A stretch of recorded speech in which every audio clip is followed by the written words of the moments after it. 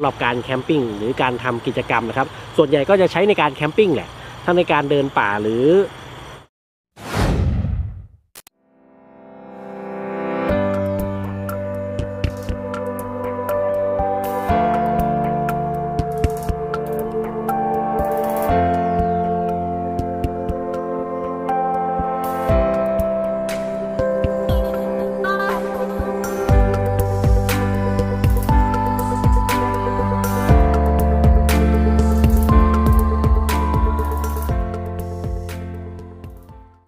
เกียงในมือผมตอนนี้คือ Olight Oriental Classic 2 Pro ครับ ซึ่งเขามาในรูปแบบรูปทรงของตะเกียงแบบคลาสสิกนะครับ เป็นตะเกียงทรงโบราณย้อนยุคที่กำลังฮิตกันในตอนนี้นะ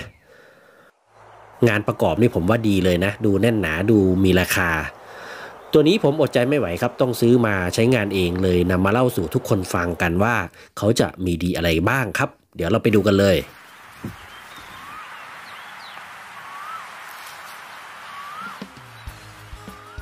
งานประกอบนะครับเมื่อผมจับดูแล้วก็ดูหนาแน่นนะครับ น้ำหนักที่ถือแล้วนั้นอาจจะหนักกว่าที่คิดไว้นิดหน่อยนะครับคือไม่คิดว่าเขาจะหนักขนาดนี้นะแต่ก็ไม่ได้หนักมากนะครับ โดยรวมๆแล้วในการสัมผัสนะครับ ก็รู้สึกประทับใจครับสำหรับเจ้าตัว Oriental Classic 2 Pro มาดูที่อุปกรณ์ที่ให้มาในกล่องนะครับ ก็จะมีตัวตะเกียงนะครับ สายชาร์จแบบ USB Type C ครับ แล้วก็คู่มือซึ่งตรงนี้จะเป็นคู่มือที่มีภาษาไทยอยู่ด้วยนะครับ เรามาไล่ดูตัวไฟฉายกันครับ จากด้านบนเลย เขาก็จะมีห่วงสำหรับใช้จับหรือหิ้วนะครับ ตรงนี้ก็จะเป็นน่าจะเป็นอลูมิเนียมนะสำหรับวัสดุ แล้วก็จะมีพลาสติกรองนะครับ เพื่อให้จับได้ถนัดขึ้นนะครับ โดยเราสามารถใช้ห่วงตรงนี้นะครับสำหรับแขวนได้นะ ก็ถ้าเรามีที่แขวนนะครับ ก็สามารถใช้ห่วงตัวนี้ได้ ถัดลงมาก็จะเป็นห่วงเล็กๆนะครับ ตัวนี้จะเป็นห่วงสำหรับแขวนโดยเฉพาะนะครับ ก็เพื่อที่เพื่อความมั่นคงนะครับ เวลาโดนลมนั้นเขาจะได้ไม่หล่นนะครับ เพราะว่าเขาเป็นห่วงเล็กๆนะครับเขาก็จะได้ไม่แกว่งเวลาโดนลม ถัดลงมาก็จะเป็นจุดที่ติดตั้งหลอด LED ครับโดยในชั้นแรกนะครับก็จะเป็นหลอด LED ไฟสีส้มนะครับ ซึ่งทางโอไลท์นั้นใช้คำว่า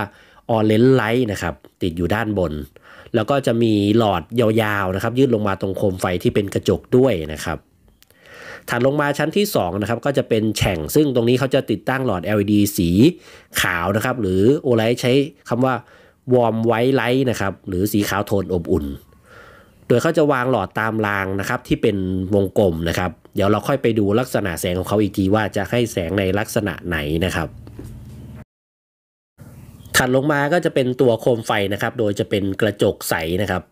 เห็นหลอด LED อยู่ข้างในชัดเจนนะครับ รอบๆโคมนะครับ ก็จะเป็นโลหะสำหรับกันกระแทกนะครับ ก็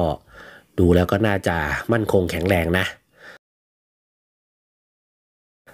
ถัดลงมานั้นจะเป็นตัวสวิตช์ครับ เป็นหนอบที่โดดเด่นมากๆนะครับ ตัวหนอบนั้นจะมีตาสัญลักษณ์โอไลท์อยู่ด้วยนะครับโดยวิธีการใช้งานก็คือหมุนขวาเพื่อเปิดนะครับ แล้วก็เพิ่มระดับไฟนะครับ ส่วนการหมุนซ้ายนั้นก็เพื่อหลีไฟแล้วก็หมุนมาซ้ายสุดก็จะเป็นการปิดสวิตช์นะครับ และที่สังเกตจะเห็นจุดเล็กๆ ใต้สวิตช์นะครับ อันนี้จะเป็นไฟ LED นะครับ บอกสถานะแบตเตอรี่ทั้งในตอนใช้งานแล้วก็ตอนชาร์จนะครับ ถัดจากไฟหลอด หลอดไฟบอกสถานะนะครับ ก็จะเป็นช่องชาร์จไฟนะครับ ตรงนี้จะเป็นจุกยางที่ปิดอยู่นะครับ กันน้ำเข้า ซึ่งพอเปิดออกมาครับ เราก็จะเจอ USB 2 ช่องนะครับ เป็น USB Type A แล้วก็ USB Type C โดยตัว Type C นะครับ จะเป็นได้ทั้ง Input แล้วก็ Output คือใช้ชาร์จไฟเข้าตะเกียงนะครับ แล้วก็ยังสามารถชาร์จไฟให้อุปกรณ์ต่อพ่วง เช่นพวกมือถือได้นะครับ และที่สำคัญนะครับที่ผมทดลองใช้ชาร์จกับมือถือ Samsung Galaxy Note 10 Plus ของผมนะครับเขาขึ้นชาร์จเร็วครับ ก็ถือว่าโอ้ได้เป็นของแถมมาแบบดีเลยครับ ส่วนตัว USB Type A นะครับใช้สำหรับจ่ายไฟให้อุปกรณ์ต่อพ่วงได้อย่างเดียวนะ อันนี้ผมไม่มีสาย Type A นะครับก็เลยไม่ได้ทดสอบในการชาร์จไฟเข้ามือถือให้ดู ส่วนด้านล่างสุดนะครับก็จะเป็นจุดชาร์จแบบแม่เหล็กนะครับ เอาไว้สำหรับใครที่มีสายชาร์จแบบแม่เหล็กของโอไลนะครับ ก็สามารถนำมาใช้งานสำหรับการชาร์จไฟได้ครับผม โอเคครับ นี่ก็คือลักษณะคร่าวๆของตัวไฟฉาย ลักษณะไฟฉายนะครับ คราวนี้เราจะไปทำการทดสอบแสงสว่างจากเจ้าตัว o l i g h t Oriental Classic 2 Pro กันครับ lost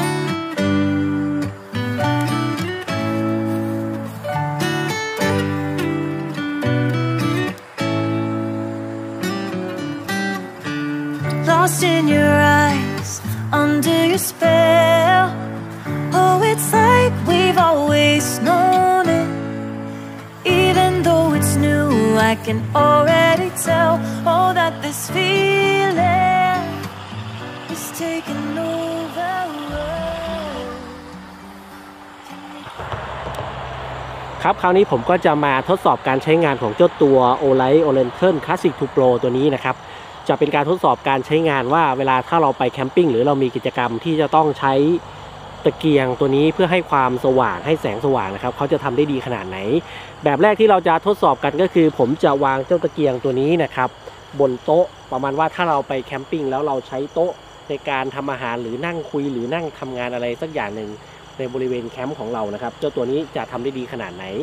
ผมจะลองให้ดูทั้งแสง orange light นะครับแล้วก็ warm white light นะครับก็จะทดสอบให้ดูทั้งสองแบบเลย แบบที่หนึ่งก็คือวางบนโต๊ะนะครับแล้วก็จะมี เพราะเป็นพวกกาน้ำหรืออะไรที่เวลาที่เรา camping นั่นแหละครับ แล้วก็ตัวต่อมานะครับ ผมก็จะแขวนเจ้าตัวนี้บนเสาที่เราใช้แขวนตะเกียงนะครับ ซึ่งตัวนี้ผมตั้งเสาเสร็จไว้เรียบร้อยแล้วนะครับ สภาพตอนนี้ก็คือผมใช้แสงส่องเพื่อให้เห็นตัวผมอยู่ตอนนี้ แล้วก็มีไฟจากตัวโซลาร์เซลล์นะครับ ซึ่งตอนทดสอบผมจะปิดทั้งหมดนะ มันจะไม่มีแสงแบบนี้นะครับ เพราะฉะนั้นก็ เดี๋ยวเราจะมาใช้แสงจากเจ้านี่แหล่งเดียวเลย แล้วก็การทดสอบอีกอันหนึ่งนะครับ ก็คือผมก็จะถือเดินนะครับ ตั้งกล้องไว้แล้วก็จะถือเดินว่าเขาให้ความสว่างได้ดีขนาดไหนนะครับ ก็น่าจะเป็นการทดสอบที่ทำให้ทุกคนเห็นว่าเจ้าตัวนี้ตะเกียง Olight Olantern Classic Two Pro เขาทำได้ดีขนาดไหนนะครับ เผื่อใครสนใจจะได้ไปหาซื้อกันก็จะได้เป็น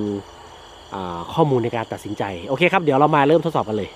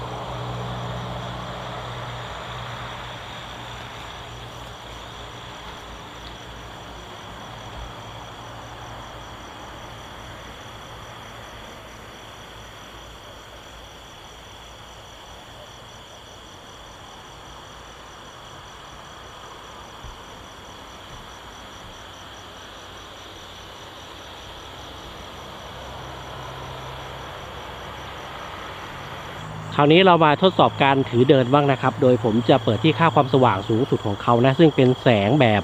warm white light นะครับ หรือแสงขาวที่ 300 ลูเมนนะ เดี๋ยวเรามาดูสภาพถนนกันก่อนนะครับ อันนี้ผมใช้ไฟฉายส่องดูสภาพถนนนะครับ ที่ผมจะถือตะเกียงเดินไป มาดูว่าเขาจะทำได้ดีขนาดไหนนะครับ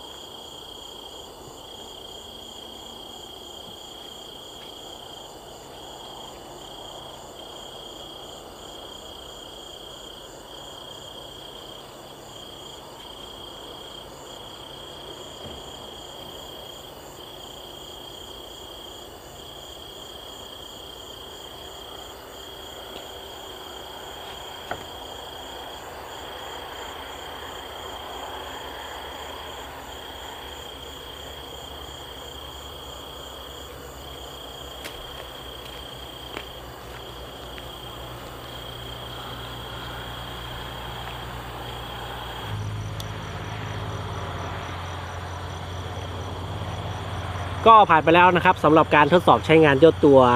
o l i t Oriental Classic 2 Pro ตะเกียงแนวย้อนยุคแนวรีโทแนวเรโทนะครับจากทาง o l i t นะ ก็ผมว่า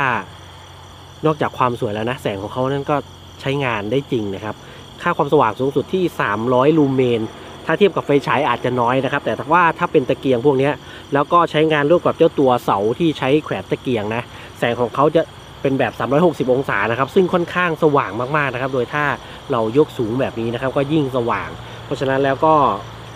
ผมว่าโอเคนะสำหรับการแคมปิ้งหรือการทำกิจกรรมนะครับ ส่วนใหญ่ก็จะใช้ในการแคมปิ้งแหละถ้าในการเดินป่าหรือกิจกรรมอื่นที่ใช้ความสว่างนะผมก็จะใช้ตัวไฟฉายมากกว่านะครับ แต่สำหรับเจ้าตัวตะเกียงเนี่ย นอกจากจะให้ความสว่างแล้วก็เป็นเฟอร์นิเจอร์ประดับแคมป์ประดับเต็นท์ได้นะครับ เสียดายที่วันนี้ผมไม่ได้เอาเต็นท์มากางด้วยนะ เพราะว่าตอนกลางวันมันค่อนข้างที่จะร้อนมากๆเลยนะครับ ก็เลยไม่ได้กางเต็นท์แต่ว่าก็ทดสอบจำลองก็คือบนโต๊ะอาหารบนโต๊ะแคมป์นะครับวางบนพื้นแล้วก็แขวนเสาแขวนตะเกียงก็ถือว่าเขาใช้งานได้ดีนะครับ ก็อย่างที่ทุกคนเห็นนั่นแหละครับ ส่วนราคาเมื่อเทียบกับคุณสมบัติแล้วก็แสงที่ได้นะ ในราคาเต็มของเขานั้น หลายคนอาจจะมองว่าแพงนะครับ แต่ว่าถ้าซื้อในช่วงที่ทางโอไลท์จัดโปรนะเขาราคาของเขาเนี่ยจะอยู่ที่ประมาณ 2,000ปลายๆนะครับ ประมาณ 2,800 แล้วแต่ช่วงราคาแล้วแต่ตอนที่เขาจัดโปรโมชั่นนะครับ ว่าจะลดกี่เปอร์เซ็นต์ ส่วนถ้าใครสนใจตัวนี้นะครับ ก็สามารถเข้าไปดูที่เว็บไซต์ที่ผมลงไว้ใต้คลิปได้นะครับ ก็จะเป็นเว็บไซต์ของ o l i t Thailand เลยนะครับ ถ้าในช่วงที่เขาไม่จัดโปรนะครับ ก็สามารถใส่โค้ด Lens Cover ได้นะครับ ผมขึ้นไว้ที่หน้าจอได้ ก็จะได้ส่วนลดถึง 12%นะครับ ถ้าใครสนใจก็ลองเข้าไปดูข้อมูลดูได้นะครับโอไลท์จะจัดโปรโมชั่นทุกเดือนเลยนะครับ โอเคครับสำหรับการรีวิว แล้วก็ทดสอบเจ้าตะเกียงสำหรับวันนี้ก็น่าจะจบไว้เพียงเท่านี้นะครับสำหรับใครที่ชื่นชอบการรีวิว ไม่ว่าจะเป็นอุปกรณ์ไฟฉายอุปกรณ์แคมป์หรือตะเกียงแบบนี้นะครับ ก็สามารถ กดติดตามช่อง YouTube ฝาปิดเลนหรือเลนส์โคเวอร์ของผมเองนะครับ สามารถติดตามได้ก็จะมีรีวิวพวกนี้มาเรื่อยๆนะครับสำหรับวันนี้ก็สวัสดีครับผม